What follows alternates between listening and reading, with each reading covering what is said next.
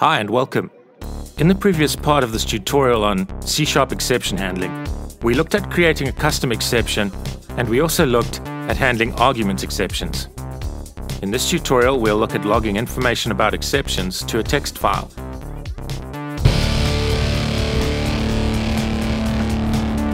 Recording exception information in a text file can be very useful for troubleshooting an application when the application is being developed and also after the application has been released into the production environment.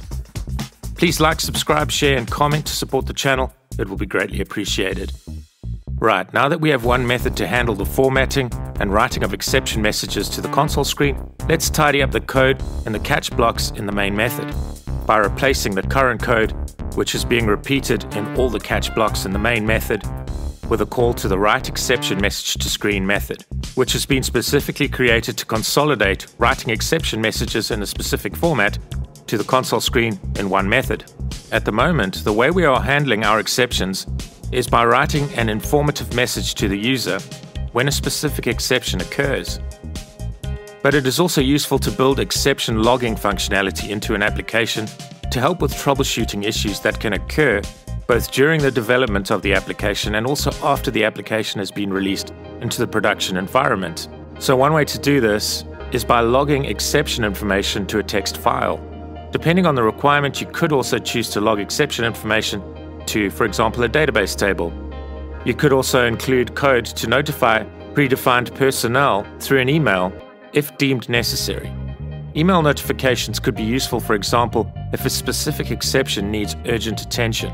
But we are going to keep things simple and implement exception logging functionality by writing exception information to a text file. So let's build a class responsible for logging information to a text file. Let's add a class to our project and name it logger. Let's make this class a public static class.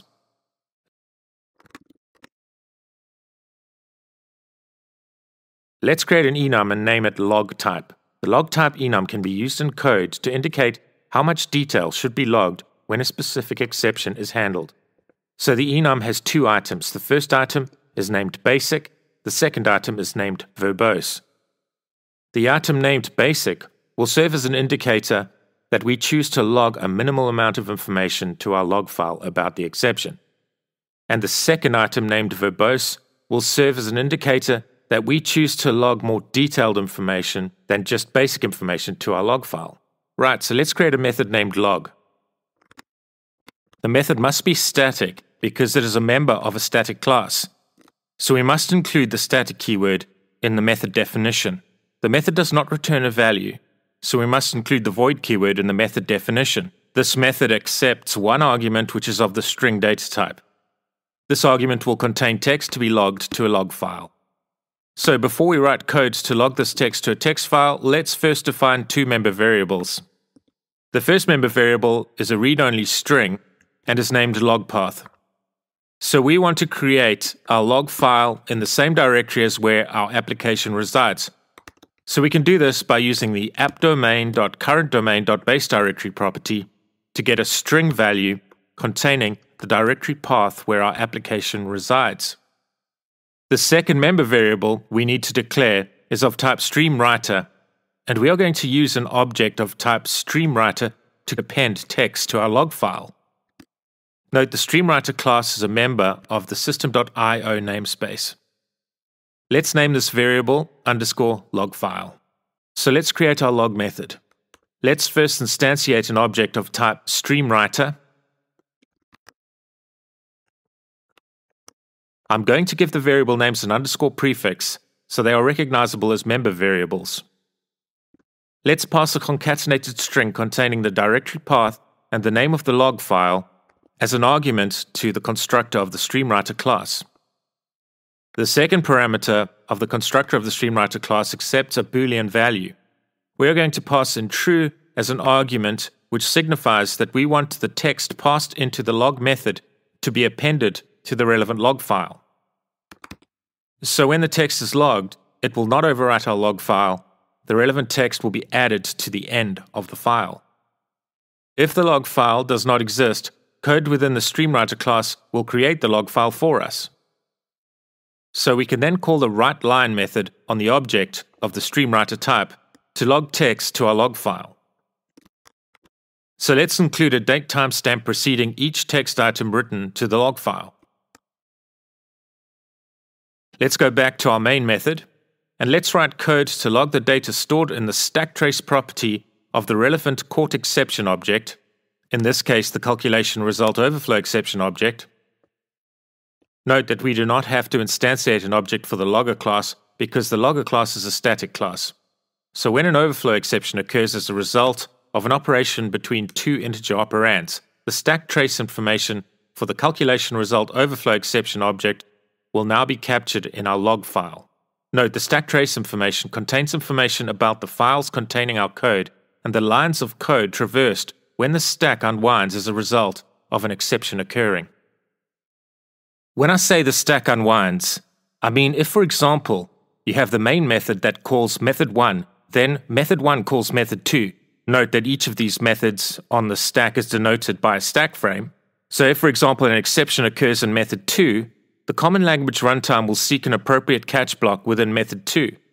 If the exception is not handled in method 2, the common language runtime will try to find a catch block in method 1 to handle the exception.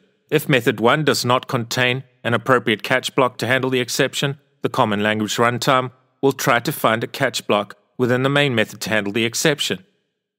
If an appropriate catch block does not exist in the main method, this exception will be deemed as an unhandled exception, and the common language runtime will handle the exception. If, however, an appropriate catch block exists within one of the methods on the stack, it can be handled within that method. And if a method throws an exception, code execution stops at that point and the stack unwinds until the exception is caught and handled. If the exception is not handled, the common language runtime will handle the exception using a default exception handler. The stack trace information is technical in nature and it is of no interest to the average user of the application. So we certainly do not want to output this information to the user. However, this information can of course be of huge value to technical staff responsible for maintaining the application or to developers of the application during the development phase of the application. So let's test our logger class. Let's force a calculation result overflow exception to occur by multiplying two relatively large integer values together. Great, so let's find our log file so that we can examine the stack trace information that should have been logged. We can navigate to where the log file should have been created by right-clicking the project node in our Solution Explorer window then clicking the Open Folder in Explorer context menu item. And now we are in the directory where our project file is stored. We can then double click the bin directory, then the debug directory, then the net core app directory. This directory may have a different name on your computer depending on the version of .NET Core you are running. And we can now see our newly created log file we named basiccalculatorlog.txt. And let's double click the text file icon so that we can examine the content of the relevant file. Okay, so why is the log file empty? Oh, I know why. It's because we didn't include code to close the file on a line after the line of code responsible for writing text to the log file. As we have just witnessed, if we don't include code to close the file, after the code that writes text to the log file, the text will not be saved to the file. So let's appropriately add code to close the log file.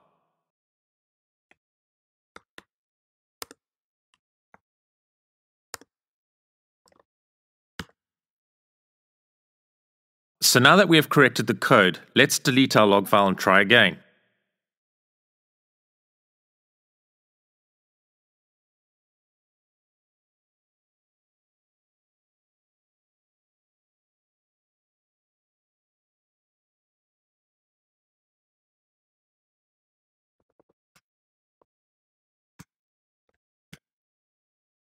Great, so now let's examine our log file.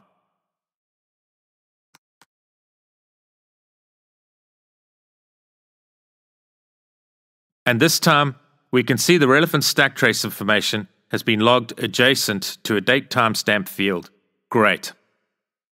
And we can use the stack trace information to examine the lines of code in our code files that were traversed after the exception occurred. So let's look at line 113 of the program.cs file, which is where our code threw the calculation result overflow exception.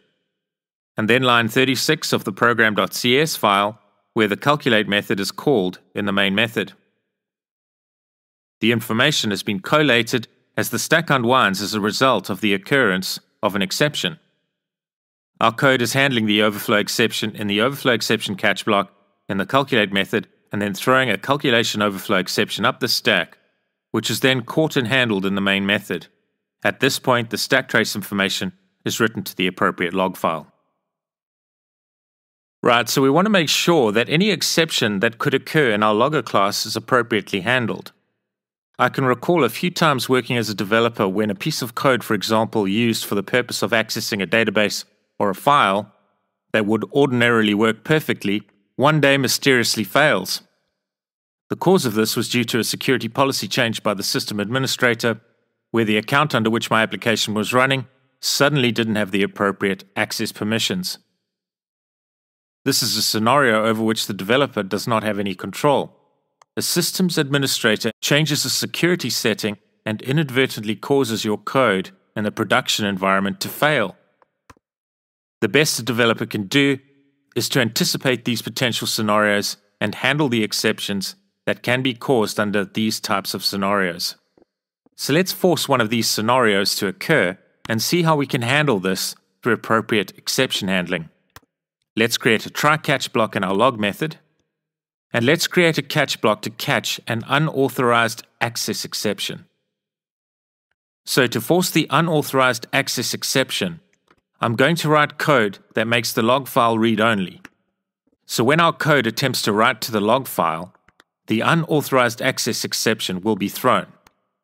We'll do this in code by including code before the code that writes to the log file that changes the read only attribute of the log file to be true. So when the subsequent code attempts to write to the log file, an unauthorized access exception will be thrown. Okay, let's test this code. Let's force a calculation result overflow exception to occur so that our exception logging code will be executed.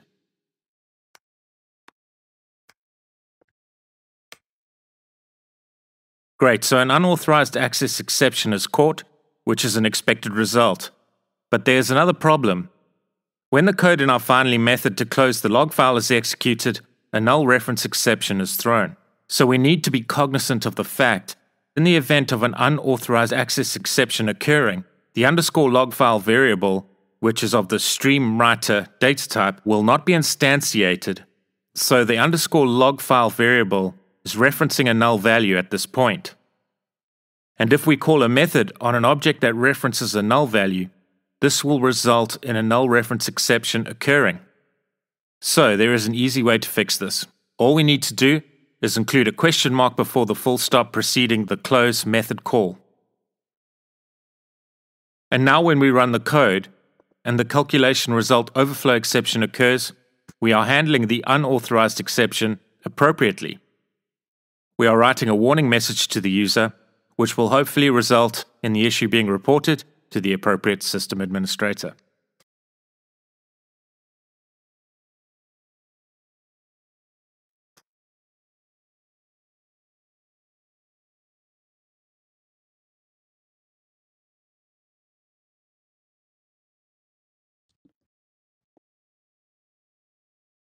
So let's create an overload for the log method.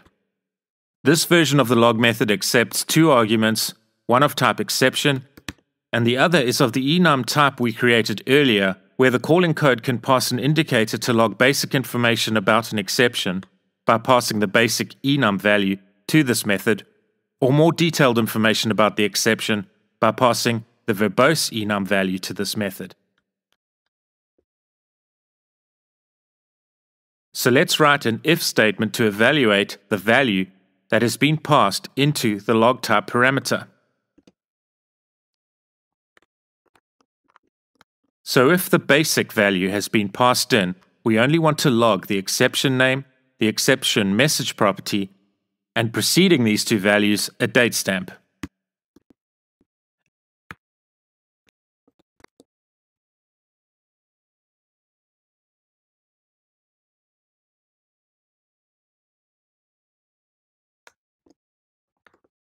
Else, if the calling code passes in the verbose enum value, then we want to log the exception name, the exception message property, the stack trace property, as well as the inner exception message, if one exists.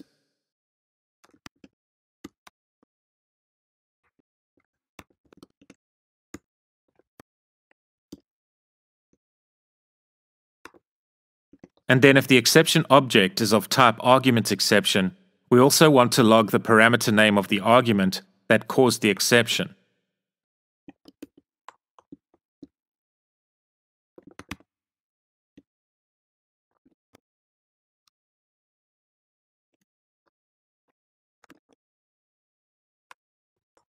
Let's also include an unauthorized access exception catch block in the try catch block.